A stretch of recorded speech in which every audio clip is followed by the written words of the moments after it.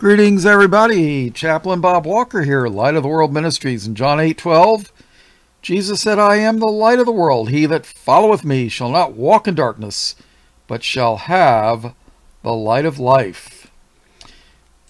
And this is going to be Doctrine Part 3, I think. Yeah, Part 3. So let's go to Luke chapter 2. Um, this is going to be the New Testament. I'm pretty much done with the Old Testament's uh, doctrine. Now we're going to look at the New Testament. Matter of fact, let's look at the life of Christ. Luke chapter 2. And it came to pass in those days, there went out a decree from Caesar Augustus that all the world should be taxed.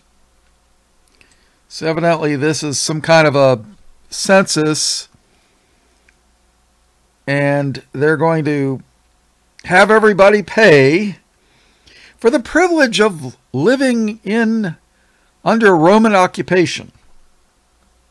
Isn't that usually how the way it works? Oh yeah. And this taxing was first made when Cyrenius was governor of Syria. And all went to be taxed, every one into his own city. So evidently you had to go to you, you know, where you were born, because uh, other people would know who was born there. And um, I guess they did this so that they could figure out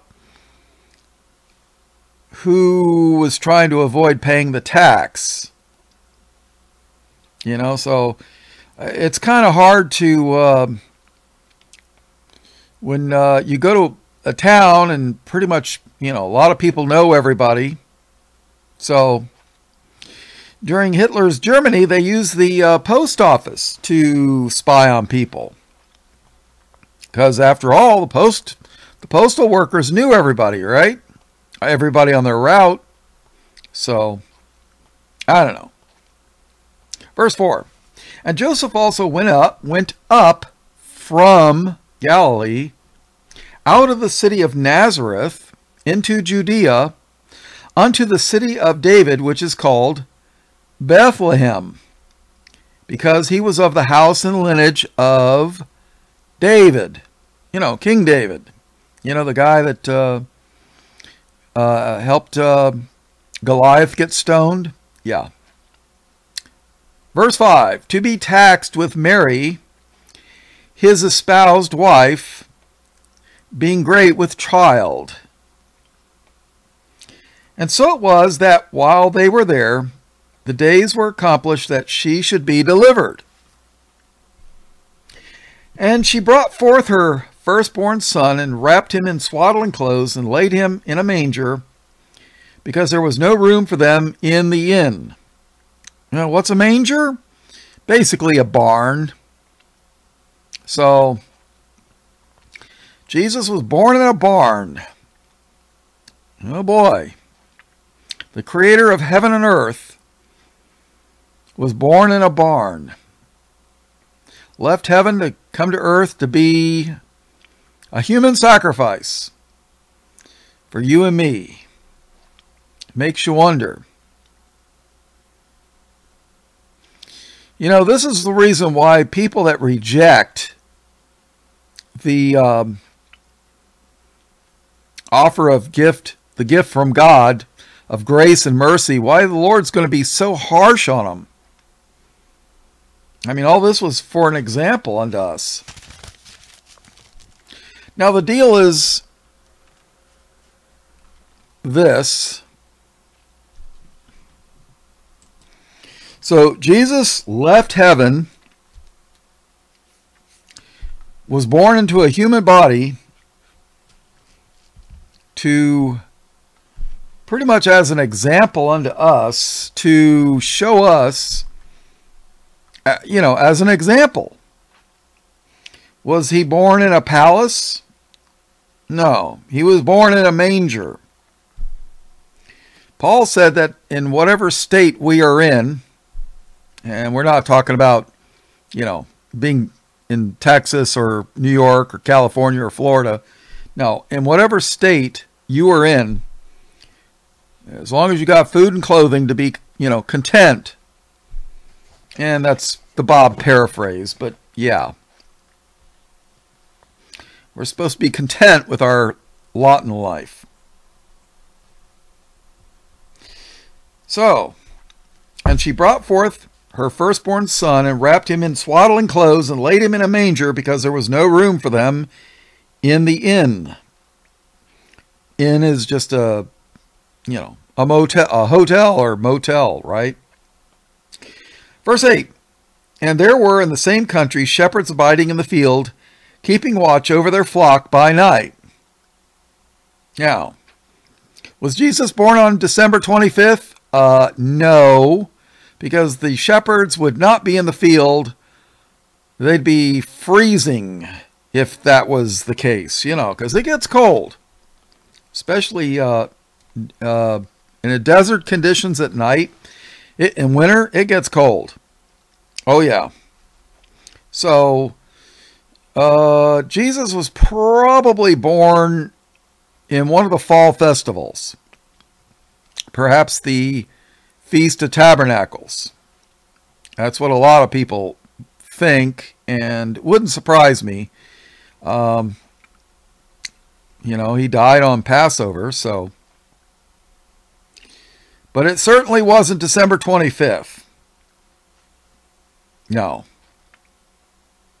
Verse 9 And lo, the angel of the Lord came upon them, the shepherds and the glory of the Lord shone round about them, and they were sore afraid. And the angel said unto them, Fear not, for behold, I bring you good tidings of great joy, which shall be to all people. You know, tidings. I'm bringing you good news. For unto you is born this day in the city of David a Savior which is Christ the Lord. Hmm. And this shall be a sign unto you. Ye shall find the babe wrapped in swaddling clothes, lying in a manger.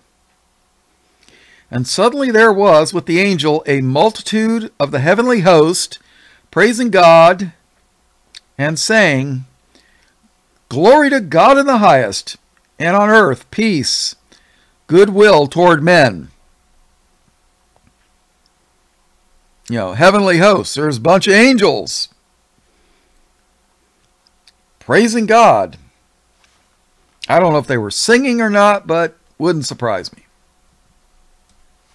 And it came to pass, as the angels were gone away from them into heaven, into heaven, you know, not the uh, not the Revelation 12 angels that were cast out of heaven. No, no, these are the ones that are in heaven. You know, the, the Revelation 12 angels were cast out of heaven. Yeah. Yeah, they're uh they got a different they got a different residence. They had to get a change of address from the post office. Yeah. And it came to pass as the angels were gone away from them into heaven, the shepherds said one to another, Let us now go even unto Bethlehem, and see this thing which is come to pass, which the Lord hath made known unto us. Very interesting. Let's go to the Old Testament real quick. Micah. Now, Micah is one of the minor prophets, uh, part of the Old Testament. It's those little tiny books just before the New Testament. And they're called minor not because of the importance of the message, but rather because of the size. Micah chapter 5 and verse 1. Now, when the wise men came to uh, Herod,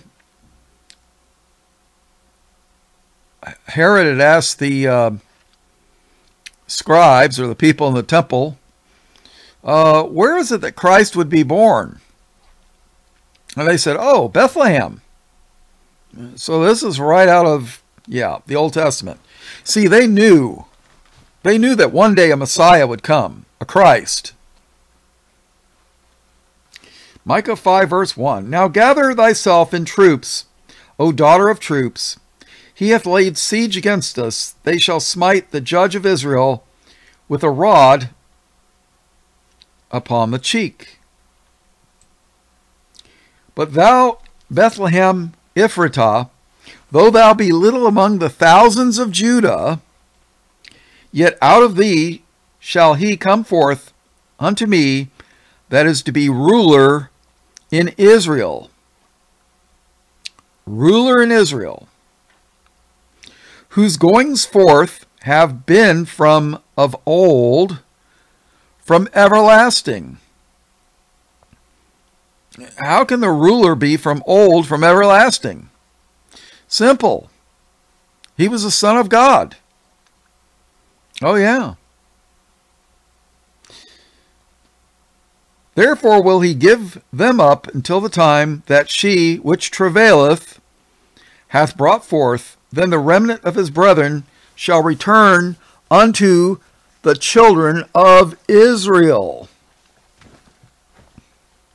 And he shall stand and feed in the strength of the Lord, in the majesty of the name of the Lord, his God, and they shall abide.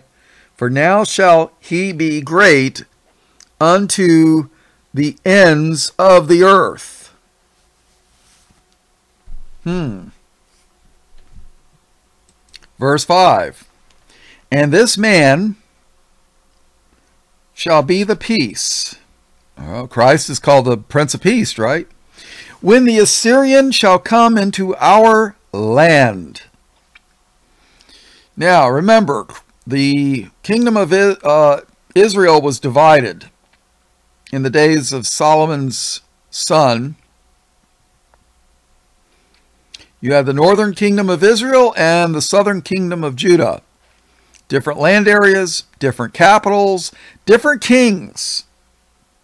The Assyrians came in and took northern Israel captive. They also invaded Judah and took some of the cities of Judah captive. But when they came to Jerusalem, uh, an angel of the Lord smote them, struck them down dead. Oh, yeah. And that was the end of that in, uh, siege. Yeah, they had surrounded Jerusalem. And uh, I think, uh, yeah, everybody was starving to death. But the Lord protected Jerusalem for his servant David's sake. But that's a whole nother that's a whole nother study. I think that's in Kings and Chronicles. Yeah. Kings and Chronicles. You can read about it. The Assyrians took a lot of the Assyrians took some of the cities of Judah or towns, whatever. They took some of them. So part of Judah was taken with Israel. But the capital city, Jerusalem, nope, didn't happen. That didn't happen until uh, a number of years later. I'm not sure how many, but the uh, Babylonians uh, came in and took Jerusalem and then carried everybody off to Babylon. And you can read about that in Jeremiah, and you can read about that in the book of Daniel. So, verse 6 And they shall waste the land of Assyria with the sword, and the land of Nimrod. Now, Nimrod supposedly uh, created Babel or Babel, Tower of Babel, Tower of Babel. And supposedly it was Babylon. So the city of Babylon and the country of Babylon. And they shall waste the land of Assyria with the sword, and the land of Nimrod in the entrances thereof. Thus shall he deliver us from the Assyrian when he cometh into our land, and when he treadeth within our borders. And the remnant of Jacob shall be in the midst of many peoples, as a dew from the Lord, as the showers upon the grass, that tarrieth not for men, nor waiteth for the sons of men. And the remnant of Jacob, now remember, Jacob's name was changed to Israel. I mean, it's interchangeable. I, you know, Jacob and Israel, interchangeable. They're synonyms pretty much. And the remnant of Jacob shall be among the Gentiles, the nations, in the midst of many people, as a lion among the beasts of the forest, as a young lion among the flocks of sheep, who, if he go through, both treadeth down and teareth in pieces, and none can deliver. All right, verse 9. Thine hand shall be lifted up upon thine adversaries, you know, the enemies, and all thine enemies shall be cut off. And it shall come to pass in that day, saith the Lord, that I will cut off thy horses out of the midst of thee, and I will destroy thy chariots. And I will cut off the cities of thy land and throw down all thy strongholds. Uh, he's talking to Judah here. Why? Because they're a bunch of. They're acting like a bunch of satanic heathens. And I will cut off the cities of thy land and throw down all thy strong, strongholds. And I will cut off witchcrafts out of thine hand, and thou shalt have no more soothsayers. Basically, false prophets, right? The graven images also will I cut off. You know, idols. And thy standing images out of the midst of thee, and thou shalt no more worship the work of thine hands. And I will pluck up thy groves out of the midst of thee, uh, groves of trees, you know, the they were like nature worshippers. Uh, even today, New Agers and witches uh, say the, the oak is sacred. The sacred oak. I don't think so. And I will pluck up thy groves out of the midst of thee. You know, that was where they would, you know, they wouldn't do their little satanic sacrifices in the city. No, they they would sacrifice children out in the in the woods. Yeah, because they didn't want somebody to get upset and uh, take care of business, if you catch my drift. You know, that's one of the reasons why um, people treated the native people of the Americas the way that they did was because they saw their religious practices and were not exactly pleased or impressed. So they dealt with it accordingly. And I will pluck thy groves out of the midst of thee, so will I destroy thy cities. And I will execute vengeance in anger and fury upon the heathen, such as they have not heard. Oh boy. Lord is not pleased. All right, let's uh, let's go back to Luke chapter 2. Verse 15. And it came to pass as the angels were gone away from them into heaven, okay, the shepherds that were in the, the field, right?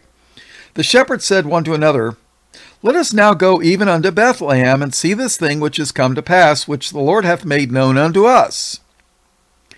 Now remember, there was a, uh, I think a couple hundred years had passed from the time of the Old Testament up un, unto the birth of Christ. I, I couldn't tell you the exact timeline. You could look it up, you know, but it's, you know, we're not talking a couple of years. We're talking, uh, well, let me see. All right, so according to scholars, it's around 120 years from the time Israel was northern Israel was taken into captivity uh, until the Babylonian invasion of Jerusalem. So, you know, they were warned. Jerusalem was warned.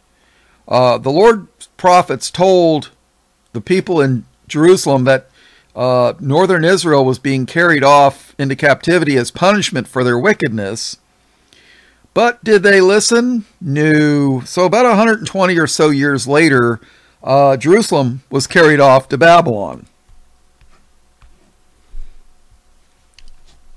And then, from the time of the Old Testament, the last book of the Old Testament, until the coming of Christ was approximately 400 years depending upon who you talk to. That's a long time for the Lord to be silent 400 years. So, all right, let's take a look. All right, back to Luke uh, chapter 2, verse 15. And it came to pass, as the angels were gone away from them into heaven, the shepherds said one to another, Let us now go even unto Bethlehem, and see this thing which is come to pass, which the Lord hath made known unto us. So I don't know how big Bethlehem was, but they knew that he was in a manger. Christ, that is. So how many mangers or barns are there? You know, they probably, you know, was checking each one until they found the right the right one. So and they came with haste and found Mary and Joseph and the babe lying in a manger. And when they had seen it, they made known abroad the saying which was told them concerning this child. And all they that heard it wondered at those things which were told them by the shepherds. But Mary kept all these things and pondered them in her heart. I just remember, Gabriel had come to Mary and told her that she's going to have a baby. And she's like, wait a minute. How's this, how can this be? I, I, I've never known a man. And she was told, uh, well, the Holy Spirit, the Holy Ghost is going to overshadow thee. And uh, Gabriel even told her to name him Jesus. Oh, yeah. So, you know, I mean, can you imagine some of the thoughts going through Mary's mind? And then the shepherds show up and say, Hey, uh, a bunch of angels told us you were here. Uh, okay. you know? And the shepherds returned, glorifying and praising God for all the things that they had heard and seen, as it was told unto them. And when eight days were accomplished for the circumcising of the child, and by the way, um, uh, circumcision was to be performed. It was an Old Testament ritual. And it was to be performed on the eighth day. And uh, that's when the blood clotting capabilities of a child kicks in after a few days. You know, that's why they don't do it right out of the womb because the blood clotting capabilities don't happen. And if they circumcised them immediately they'd probably bleed to death. So, yeah. I learned that from medical stuff. Yeah. Bob, you're crazy. You've been reading, studying too much. You know, it's like uh, Festus told Paul, Paul, uh, much learning doth make you mad. You're beside yourself. Well, I don't, I can't compare myself to Paul, but yeah. Turn off your TV. You'll learn something. And when eight days were accomplished for the circumcising of the child, his name was called Jesus. Jesus. Do you know that every person that uses Yeshua is denying the New Testament? Every single one of them. They're denying the New Testament. They're denying the Greek New Testament. Now, I'm not saying they're deceivers, but they're probably deceived at the very least, if they're not deceivers outright. Think about it. No, oh, his real name's Yeshua. Uh, well, I don't know what Bible you're reading, but mine says Jesus.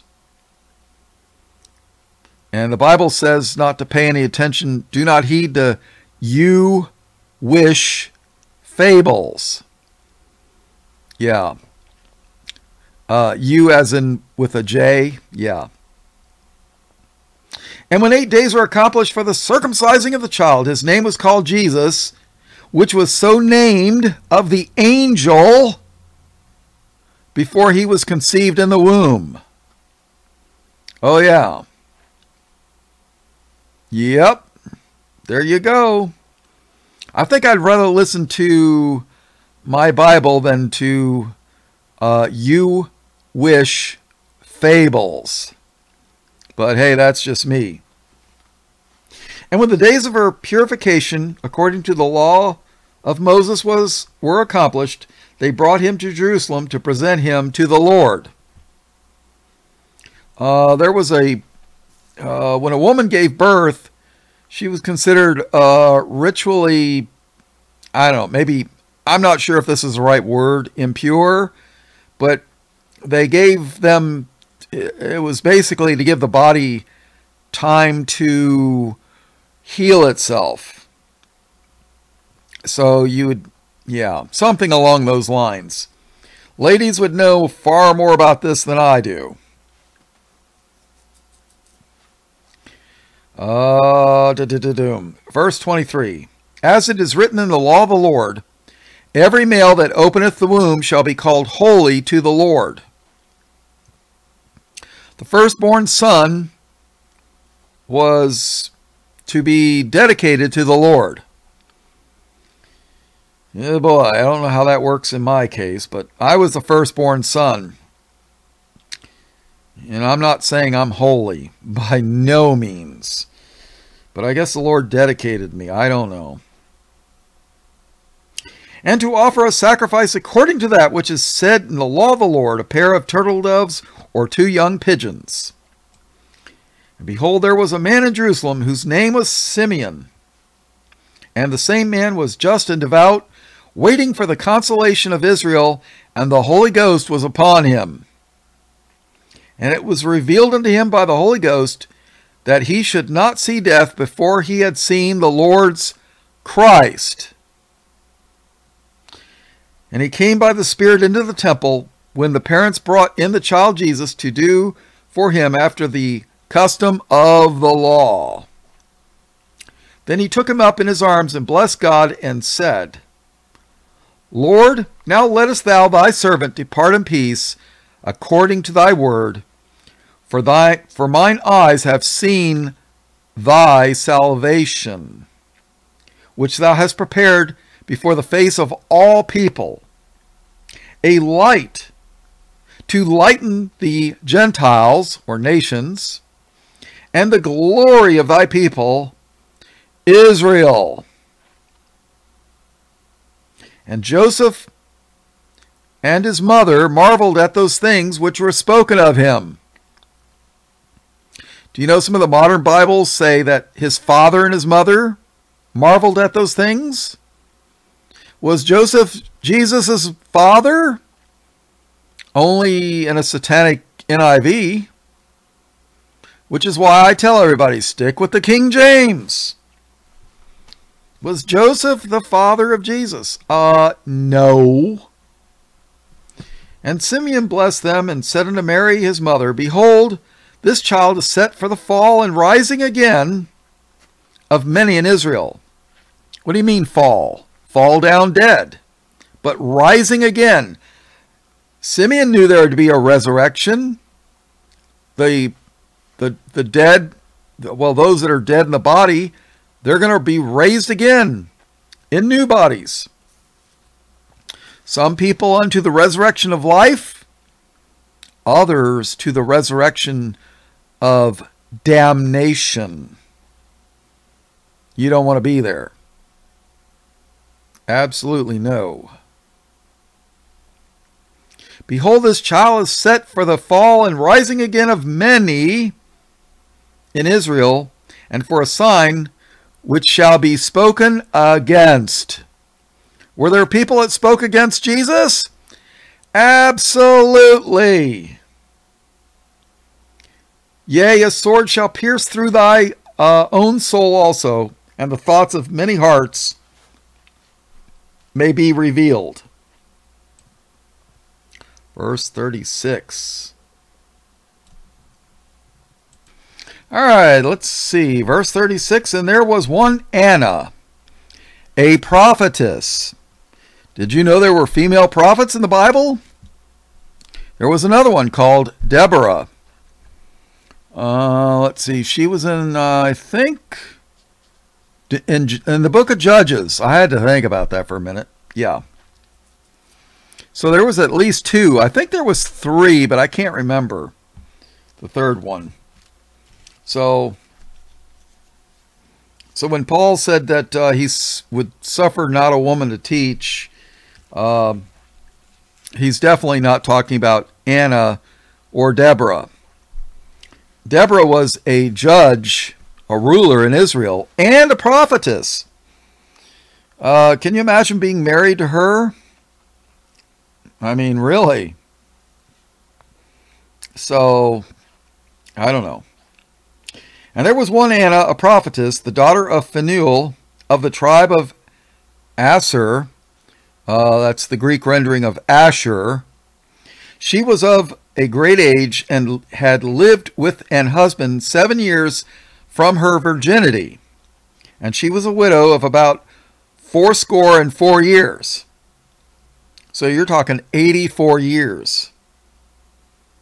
So 84 plus how old was she when she got married? You know, maybe 15, 16.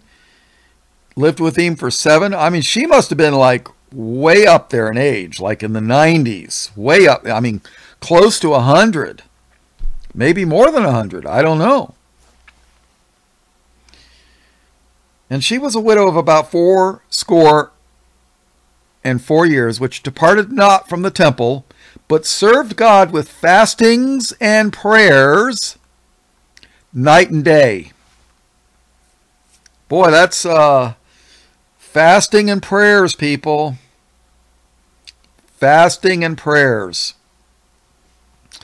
And yes, I'm a hypocrite because I don't fast like I should. Do you know there's one day every year where we're commanded, uh, well, uh, when Israel was commanded to fast, was the Day of Atonement. Yeah, at one mint with God to atone for our sins, which means, you know, to pay, help pay for them. Of course, we can't pay for them because we don't have the capability. But yeah, look it up. Uh, Day of Atonement. The uh, you wish people call it uh, Yom Kippur. Uh, you should you should read about their rituals that they do. Yeah. Yeah, they make a they they tell God that they have no intention of keeping any of their promises for the year. Yeah. Can you imagine that? Hey, God, uh, yeah, I know I'm going to uh, make a promise to pay my employees, but I'm not going to do it. And I'm telling you in advance. Yeah, it's sort of like uh, when they put out movies and uh, tell us in advance what they plan on doing to us. I, I, you know, they like to brag about it. Yeah. Tch. Fasting and prayers night and day. And she coming in that instant gave thanks likewise unto the Lord, and spake of him to all that looked for redemption in Jerusalem. And when they had performed all things according to the law of the Lord, they returned unto Galilee to their own city, Nazareth. And the child grew and waxed strong in spirit, filled with wisdom, and the grace of God was upon him. Now, a lot of people, uh, the reason the Muslims don't believe that Jesus is the Son of God is because, you know, Jesus prayed to God the Father, and of course, they don't accept the Bible. But in Psalms 2 7, listen to this I will declare the decree. The Lord hath said unto me, Thou art my son. Who's speaking here? The Lord. The Lord hath said unto me, Thou art my son. This day have I begotten thee. God has a son. Yeah. But the uh, Muslims don't believe that. Neither do the uh, you wish people. So, yeah. But I do. And the child grew and waxed strong in spirit, filled with wisdom, and the grace of God was upon him. Now you got to remember, Christ had a dual nature. He was the Son of God, and he was born in the flesh, just like all of us are. Verse 41 Now his parents went to Jerusalem every year at the feast of Passover. See, under the law, there was three times a year when everybody, every male, was supposed to present themselves unto the Lord. Uh, Passover was one of them. I can't remember the other ones. I'd have to look it up. You know, like I say, I don't claim to be an expert. I know the Old Testament fairly well, but uh, there's a lot of laws in the book of Leviticus. Yeah. Uh, did you know that soldiers were supposed to pay a ransom, a piece of silver, every, uh, I'm not sure if it's every year, but at least one time. Yeah, all kinds of weird, obscure laws. Yeah, when you listen to these Hebrew roots people, that's the kind of stuff they teach. They don't teach the grace of God and they don't preach a lot of Jesus. No, they, they preach all these obscure little laws and stuff, and they want to dazzle the the churchgoers with their knowledge of the law. You know, now if you don't know what a Pharisee is, a Pharisee is of the you wish persuasion. It's a denomination of them. You know, like in the Christians, you got the Methodists and the Lutherans and the, you know, Baptists and whatever. So, yeah. But Jesus is talking to them in Luke chapter 11, verse 39. He says, And the Lord said unto him, Now do ye Pharisees make clean the outside of the cup, cup. You make the outside of the cup clean, and the platter, but your inward part is full of ravening and wickedness. Ye fools! Did not he that made that which is without make that which is within also? But rather give alms, you know, charity, of all things as ye have, and behold, all things are clean unto you. But woe unto you, Pharisees! For ye tithe mint and rue and all manner of herbs, and pass over judgment and the love of God. Oh yeah, you you you give tithes, you follow the law. But when it comes to honest judgment and the love of God, these ought ye to have done, and not to leave the other undone. You know, you, you should be judging rightfully and telling people the love of God Instead of, oh, well, here we got a tithe of mint, you know, and your herbs and your fruit and vegetables. Woe unto you, Pharisees, for ye love the uppermost seats in the synagogues and greetings in the markets. Woe unto you, scribes and Pharisees, hypocrites! boy, he used that word a lot, speaking to uh, you know who. For ye are as graves which appear not, and the men that walk over them are not aware of them. Then answered one of the lawyers and said unto him, Master, thus saying thou reproachest us also. Now these are not lawyers like in America today. These are doctors of the law, very specialized. And he said, Woe unto you also, ye lawyers, for ye laid men with burdens, grievous to be borne, and ye yourselves touch not the burdens with one of your fingers. Woe unto you, for ye build the sepulchres, the graves, for ye build the sepulchres of the prophets, and your fathers killed them. Just like you're going to kill Christ. Truly ye bear witness that ye allow the deeds of your fathers, for they indeed killed them, and ye built their sepulchres. Therefore also said the wisdom of God, I will send them prophets and apostles, and some of them shall uh, some of them they shall slay and persecute, that the blood of all the prophets, which was shed from the foundation of the world, may be required of this generation. And you got people who say, "Oh, Mystery Babylon in the old in the New Testament Revelation uh, kills the prophets." Oh, that's that's Rome. Nowhere does the Bible say that Rome kills the prophets. Nowhere. Because they work for the you know who's and want to divert. It's what they call a wild goose chase.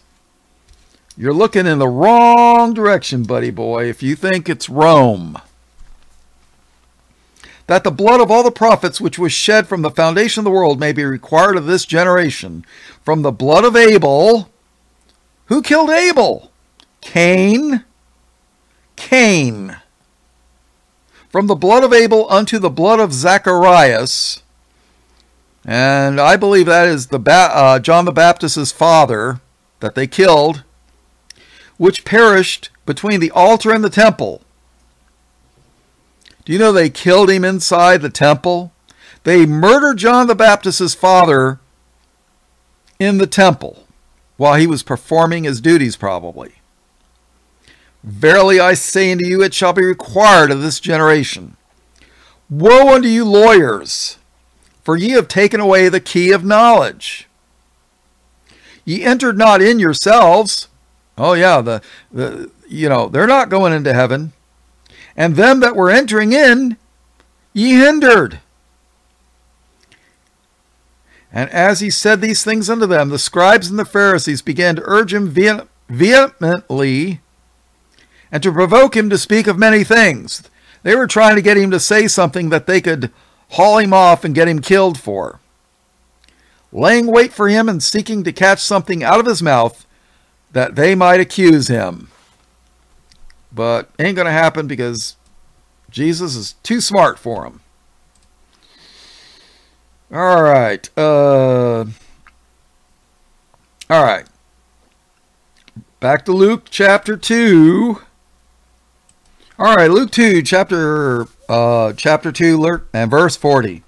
And the child, Christ, grew and waxed strong in spirit, filled with wisdom, and the grace of God was upon him. Now his parents went to Jerusalem every year at the feast of Passover. And when he was 12 years old, 12 years old, they went up to Jerusalem after the custom of the feast. And when they had fulfilled the days as they returned, the child Jesus tarried behind in Jerusalem, and Joseph, Joseph and his mother knew not of it. Now you got to realize this is probably a, a caravan, you know? And, you know, you went in groups, and reason being, if it was just a single family, I mean, they were concerned about robbers and stuff. But, you know, if you had a caravan of, you know, maybe 50 people, you know, they packed everything up. Jesus could have been sitting around, packed up, ready to go, and then, you know, left and went back.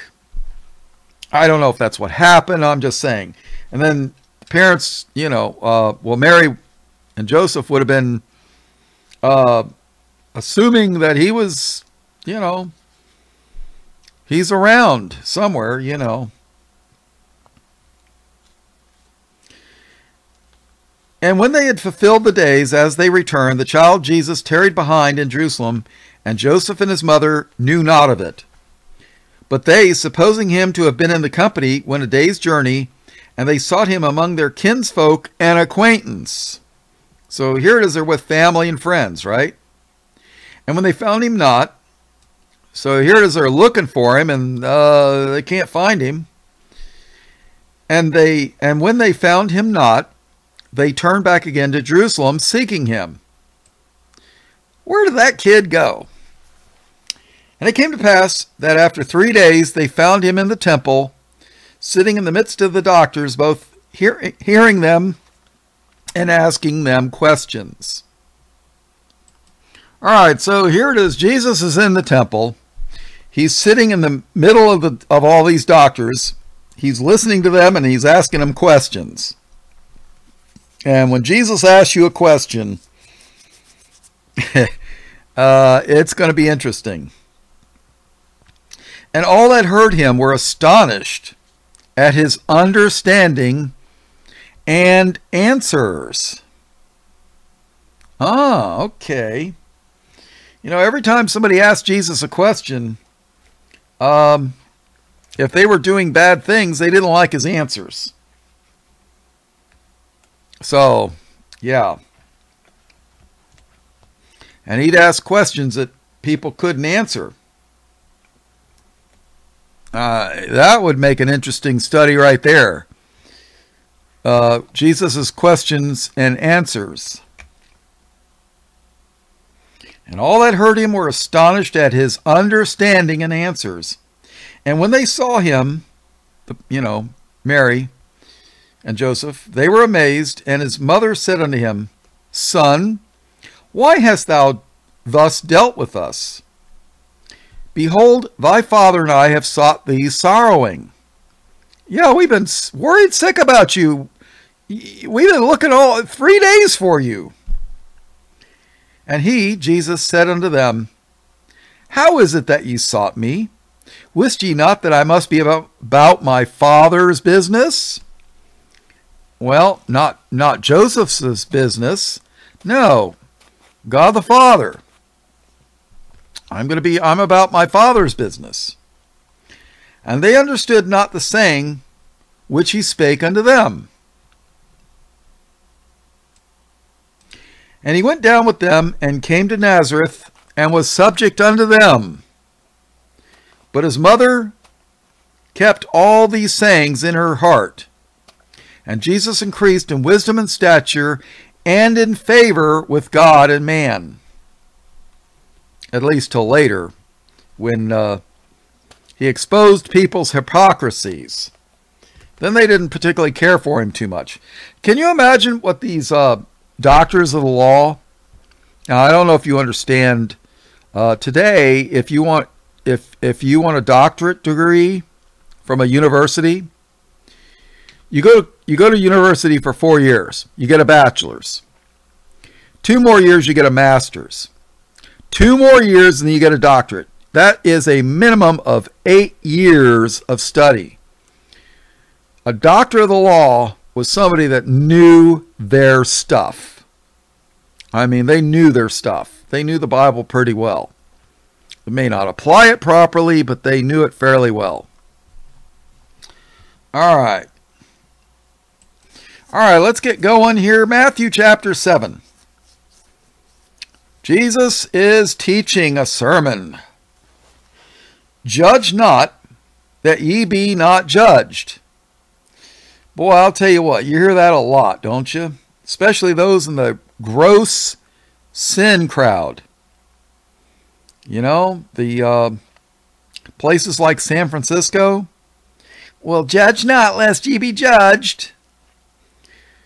Uh, the Bible also teaches we're supposed to judge righteous judgment. You know, if you're uh, sitting there with a cigarette in your hand and you're judging somebody because they're they drink too much, you know, that's the kind of judgment we shouldn't be judging. Or you're cheating on your wife or husband and you're saying, "Oh, that person over there, he's a thief. He's no good." You know, uh, yeah, not that that's that's not it. For with what judgment ye judge, ye shall be judged. And with what measure ye meet, it shall be measured to you again. And why beholdest thou the mote that is in thy brother's eye, but considerest not the beam that is in thine own eye? Okay, uh, you got a splinter in your brother's eye, but you got a log in your eye, right? Or how wilt thou say to thy brother, Let me pull out the mote out of thine eye, and behold, a beam is in thine own eye? You ever heard of a a beam of lumber? Uh, I'm not sure that's exactly the way it should be interpreted, but you know, a beam. Uh, concrete beam.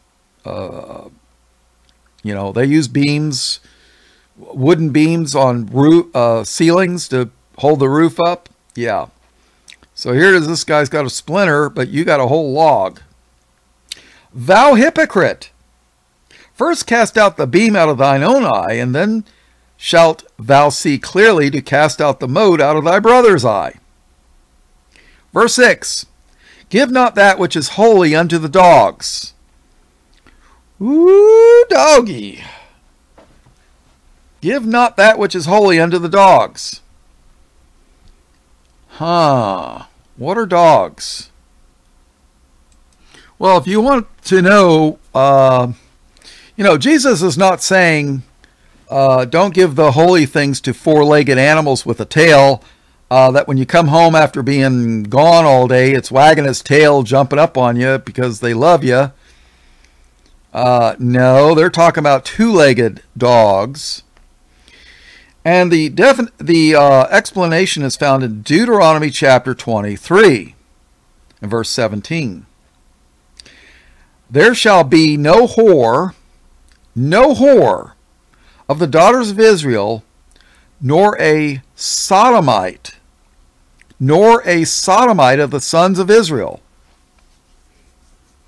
Thou shalt not bring the hire of a whore or the price of a dog.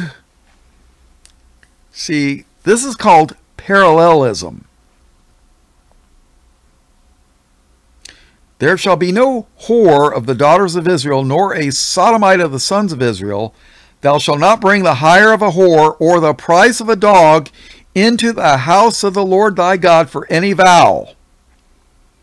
When they come to the temple and the house of the Lord and want to throw money in the temple or in the house of the Lord asking for uh, a for asking God for something, don't take the money from a prostitute and don't take the money from a so dumb ite. Thou shalt not bring the hire of a whore or the price of a dog into the house of the Lord thy God for any vow. For even both of these are abomination unto the Lord thy God. Hmm. Let's go back to Matthew 7. Give not that which is holy unto the dogs. You get it? Neither cast ye your pearls before swine, two legged swine, lest they trample them under their feet and turn again and rend you. Yeah, you give them the holy things of God, they'll trample them under their feet, they'll turn, and they'll rip you to pieces. I don't know if you know it, but wild boars, swine, they got sharp teeth and they will rip you to pieces. Uh, if you don't understand that, watch the uh, Old Yeller where Old Yeller gets ripped to pieces by the swine. Yeah, Disney, right? Give not that which is holy unto the dogs, neither cast ye your pearls before swine, lest they trample them under their feet and turn again and rend you. They'll turn against you and rip you to pieces. Ask, and it shall be given you. Seek, and ye shall find. Knock, and it shall be opened unto you. For every one that asketh receiveth, and he that seeketh findeth, and him that knocketh it shall be opened. Or what man is there of you, whom, if he, his son ask bread, will he give him a stone? Or if he ask a fish, will he give him a serpent? If ye then, being evil, know how to give good gifts unto your children, how much more shall your Father which is in heaven give good things to them that ask him? Therefore, all things whatsoever ye would that men should do to you, do ye even so to them, for this is the law and the prophets. Yeah, what's the law and the prophets? To do unto others as they would do unto you, right? The golden rule. And not the golden rule like uh, the rich people. Oh, I own all the gold, so I make the rules. That's their golden rule. In Matthew 22 36, someone asked Jesus, What was the most important commandment? I know I've beat this horse to death, but we're going to beat it one more time. Master, which is the great commandment in the law? Jesus said unto him, Thou shalt love the Lord thy God with all thy heart, and with all thy soul, and with all thy mind. This is the first and great commandment. And the second is like unto it Thou shalt love thy neighbor as thyself. On these two commandments hang all the law. On these two commandments hang all the law and the prophets. But if you listen to the Hebrew roots people, they want you to keep 600 and some odd laws. Well, I heard somebody counted them. I never counted them, but let's just say it's hundreds of them. Love thy neighbor. Hopefully we you know, we don't we don't have a bunch of Satanists as neighbors. You know, I I think you should move because you got Satanists for neighbors. Uh, don't be surprised around Halloween your children disappear. Yeah. Uh, let's see. Verse 13. Matthew 7. Enter ye in at the strait gate. For wide is the gate, and broad is the way that leadeth to destruction, and many there be which go in thereat. Because straight is the gate, and narrow is the way. You ever heard of the straight and narrow? That's where you want to be. The straight and narrow. Because straight is the gate, narrow is the way which leadeth unto life, and few, few there be that find it. Beware of false prophets. You want to see false prophets? Turn on TBN. Turn on your TV. You want to see false prophets. If they're on TV, you know they're a bunch of frauds. Generally. There might be a couple of exceptions, but they're not on prime time, I'll guarantee you that. Beware of false prophets which come to you in sheep's clothing, but inwardly they are ravening wolves. Ye shall know them by their fruits. Yeah, by their works, their actions. Do men gather grapes of thorns, or figs of thistles? Even so, every good tree bringeth forth good fruit, but a tr- corrupt tree bringeth forth evil fruit. A good tree cannot bring forth evil fruit, neither can a corrupt tree bring forth good fruit. Every tree that bringeth not forth good fruit is hewn down, it's cut down, and cast into the fire. Wherefore by their fruits ye shall know them. Not every one that saith unto me, Lord, Lord, shall enter into the kingdom of heaven, but he that doeth the will of my Father which is in heaven. You want to get into heaven? Do the will of the Father. But I don't know what the will of the Father is. Find out. Many will say to me in that day, Lord, Lord, have we not prophesied in thy name? Oh, yeah. Jehovah's Witnesses, they prophesied in the Lord's name. And in thy name have cast out devils. Uh, the priests, Catholic priests, I don't know. And in thy name done many wonderful works. Yeah, we were the Catholic Charities, and we were, uh, you know, helping the orphans and the homeless and whatever. I don't know. And then will I profess unto them, I never knew you. Probably the four scariest words you'd ever hear in your life. Jesus saying, I never knew you. Depart from me, ye that work iniquity. Therefore, whatsoever whosoever heareth these sayings of mine and doeth them, I will liken him unto a wise man which built his house upon a rock. Remember the previous lesson we did? The rock is Christ. And the rain descended, and the floods came, and the winds blew, and beat upon that house, and it fell not, for it was founded upon a, a rock. And every one that heareth these sayings of mine, and doeth them not, shall be likened unto a foolish man which built his house upon the sand. And the rain descended, and the floods came, and the winds blew, and beat upon that house, and it fell. And great was the fall of it. And it came to pass when Jesus had ended these things, the people were astonished at his doctrine. Ah, I knew that doctrine was in there somewhere. And it came to pass when Jesus had ended these things, the people were astonished at his doctrine. For he taught them as one having authority, and not as the scribes. Jesus taught them in the spirit of the, the spirit of the law, but the scribes taught by the letter of the law. Big difference. So, I hope you enjoy this lesson. Um, all blessings, praise, glory, and honor to God the Father and His only begotten Son, Jesus, who is the Christ, the Lamb of God, slain from the foundation of the world. All blessings, praise, glory, and honor in Jesus' name. Amen.